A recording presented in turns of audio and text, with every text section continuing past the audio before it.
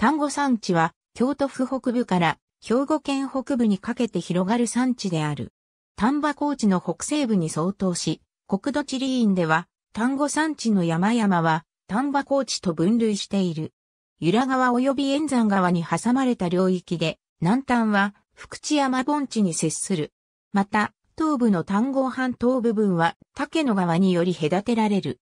日照美山を最高峰とし、800メートルを超えるのは、他に三竹山、東小美山及び大鉱山のみであり、大部分は400から600メートル程度の低山からなる。中でも大鉱山は、主天道寺伝説、いわゆる鬼退寺伝説として名高く、丹後山地の名手とされる。山域の一部は2007年から丹後天の橋立大鉱山国定公園に指定されている。